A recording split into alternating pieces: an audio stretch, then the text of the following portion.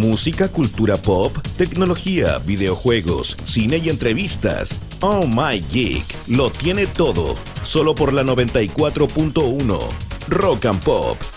Llega un momento más serio de este capítulo número 10 de Oh My Geek. Me encuentro junto al lado del comisario Esteban Maldonado de la Brigada Investigadora de Cibercrimen Metropolitana de la PDI. Comisario, muy buenas tardes, bienvenido a este episodio de Oh My Geek. Bueno, se agradece la invitación y un saludo también a los auditores que escuchan esta radio a través de todo el país y felices de estar aquí.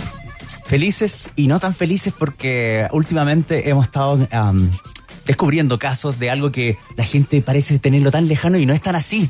Que en Chile está creciendo el cibercrimen y de muchas formas, y no solamente el hecho de robarte el número de la tarjeta de crédito, sino estamos enfrentando también eh, acosos, amenazas online que están válidas como si yo te amenazara en una plaza de armas o en una calle y te puedo amenazar online, pero también queremos eh, desglosar ¿Cómo ha ido evolucionando el cibercrimen en Chile? ¿Estamos bien? ¿Estamos mal? ¿Cómo en comparación con otras naciones?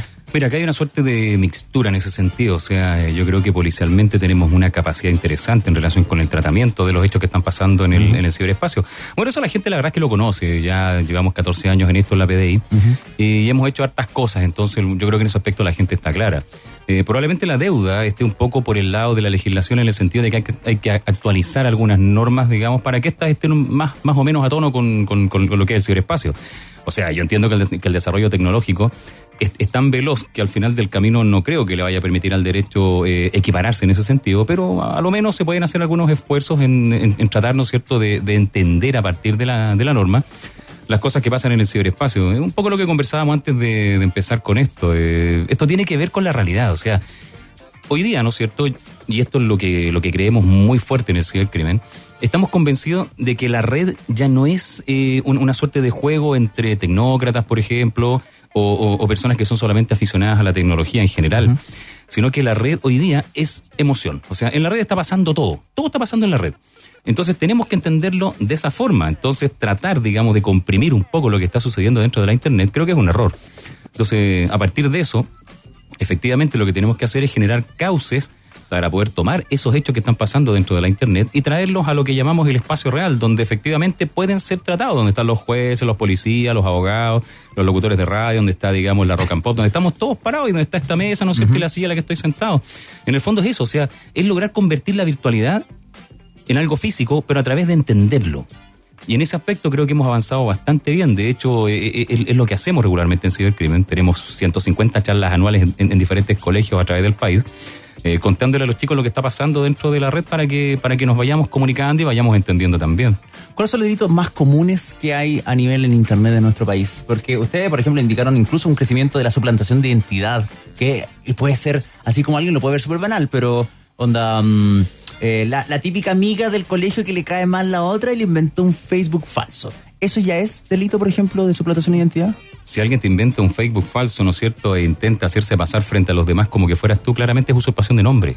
Es el nombre técnico, ah, es usurpación de nombre. Y está, con- este- está contemplado dentro del Código Penal, la verdad es que tiene una penalidad, digamos, no es muy alta. La verdad es que en general los delitos de este tipo se mueven entre presidio menor, digamos, se mueven entre presidio menor en su grado mínimo y medio, que, que en el fondo es hasta, hasta tres años pero considera que generalmente las personas que están metidas en este tipo de cosas en, en- en estricto de rigor, digamos, no corresponden al, al- al- al- al tipo ese de delincuente que todos nos imaginamos, Claro. ¿no es cierto? Entonces, eh, operan algunas atenuantes, bajan las penas. Bueno, da, da lo mismo, la verdad es que la policía no está ocupada de eso, sino que eso es un problema del Ministerio Público y de los tribunales. Saber si se va a penar o no a una persona por un determinado hecho. Nosotros lo que hacemos es cooperar en el tema de la investigación. Pero efectivamente, más comunes, por ejemplo, en primer lugar, estafa y otra defraudación. O sea, sí o sí. Ya. Tarjetas, eh, que me capturaron el perfil de Facebook o la cuenta de correo y le empezaron a pedir plata a mis contactos, por ejemplo. Eh, en general, cualquier tipo de defraudación en la cual se utilice tecnología. Ya, y eso, por ejemplo, puede caer desde el mail falso, así como ingresa aquí tus datos porque te vamos a entregar un super crédito y una super tarjeta y la gente cae en eso y en un portal falso la ponen sus datos. Por Sí, sí, perfectamente. Desde eso hasta cosas como un poco más Eh, eh, sofisticadas. Ese es el esquema típico del phishing, digamos, Sí, y la verdad es que se, se ve bastante, ¿no es cierto? Eh, yo diría que en todo caso es- e- e- este fenómeno está evolucionando hacia modos más complejos. Hoy día se usa malware que, que, que- que, digamos, llega a tu computador, que modifica, ¿no es cierto?, algunos archivos dentro del equipo, cosa de que la resolución de nombres, por ejemplo, vaya a dar a sitios falsos y no a los reales. Cosas como esa, la verdad que está siendo un poco más complejo. ¿ah? Y de hecho las tendencias en general de las, de las empresas que se dedican a esto, no, las voy a nombrar porque si no tendrían que estar auspiciando este programa, eh, dicen que efectivamente, ¿no es cierto?, se está moviendo en ese, en ese sentido. O sea, cada vez las amenazas son más complejas y son más difíciles de tratar. Y si consideramos, ¿no es cierto?, que el público en general lo que sabe hacer es usar la tecnología, pero no necesariamente la entiende, eh, estamos en un terreno bastante fértil para que estas cosas puedan, puedan digamos, eh, surtir efecto. Por eso es que aumenta el tema. Y es así, además también que el grado de penetración de, todo lo que es tecnología eh, todos los días sube, sobre todo en Latinoamérica, ¿no es cierto?, que representamos aproximadamente un 10% del uso mundial de la red pero vamos subiendo sumamente rápido. Exactamente. Seguimos en My Geek por Rock and Pop y seguimos conversando con el comisario Esteban Maldonado de la Brigada Investigadora de Cibercrimen Metropolitano de la Policía de Investigaciones. Comisario Maldonado, ahora el tema que en realidad nosotros lo trajimos para conversar sobre acoso y eh, amenazas online. ¿Qué pasa? Lo voy a hacer un, para que nos basemos en un, en un, caso eh, ejemplificar y para que la gente lo entienda los que están escuchando. Por ejemplo, un chico enamoradísimo de una chica y empieza a llamarla constantemente, a decirle te amo, quiero estar contigo, pero todos los días, cada una hora le manda un WhatsApp, un mensaje por Facebook, lo que sea. ¿Eso, por ejemplo, es un delito? En Chile, el acoso, en, términos estrictos, no es delito. No es delito. No es delito. O sea, lamentablemente uno tiene que a la larga soportar o tratar de bloquear de donde sea a una persona, en este caso, pero no es un delito. Yo no, puedo, yo no puedo ir a la policía y decir, oye, sabes que este compadre me está mandando, me llama todo el rato, no sé qué hacer. No, eso no es un delito. No, lamentablemente no, no, es un tema que esté considerado dentro de la legislación penal en Chile. Ya, ¿y qué pasa si ya este tipo empieza con, otras acciones dentro de los mensajes que envía? Por, ejemplo, por ejemplo, si dentro de las amenazas, eh, digo, dentro de los mensajes aparecen amenazas, por ejemplo, ahí estaríamos en presencia de un, de un, de un delito. ¿Amenazas como golpearte, matarte, cosas de ese tipo? O si, por, por ejemplo, es considerado una amenaza si yo te encuentro en la calle y yo sé dónde tú vives va a ver lo que te va a pasar. ¿Eso puede ser considerado, por ejemplo, una amenaza? Hoy día es un tema que se está considerando, ¿eh? Se está considerando, sí, sí. Yo creo que en el fondo, digamos, eh, todo el aparataje persecutor penal, digamos, se está abriendo bastante en ese sentido. O sea, es que, como te decía adelante, eh, para entender bien este tema, o sea, hay que basarse en qué? En la ley. Hay que basarse en las propias convicciones. Pero también hay que basarse, ¿no es cierto?, en, el estado actual de la sociedad. O sea, tú, tú, tú no puedes tratar, por ejemplo, problemas de la sociedad si no entiendes a la sociedad. Entonces es un poco la, aproximación y yo creo que eh, los jueces, digamos, tanto como el Ministerio Público, están un poco entrando en eso de, tal suerte que se está entendiendo un poco más. Ahora, el acoso no, no es delito, digamos, y eso no está en la ley, así que no hay nada que hacer respecto de eso pero se aparecen amenazas, por ejemplo, eh, se aparecen imágenes de, contenido, por ejemplo, eh, erótico, llamemos, más, o menos fuertonas. Habrá que determinar, por ejemplo, si la persona que la recibe es mayor o menor de edad. Si es menor de edad, podría mostrar, por ejemplo, la figura del grooming. Eh, entonces, hay, hay, hay, que analizar el hecho, pero en, estricto rigor, el acoso, si simple y puro, no es delito en Chile. O sea, y, eh, algo que quiero destacar. si yo, por ejemplo, entre dos personas adultas se mandan fotografías de subida de tono ya más, más, que ya no, es de lo sensual, sino ya explícito. Okay. Eso no sería delito entonces. No, si se lo mandan entre ellos, digamos, eso es, buena onda nomás. ya, que, claro.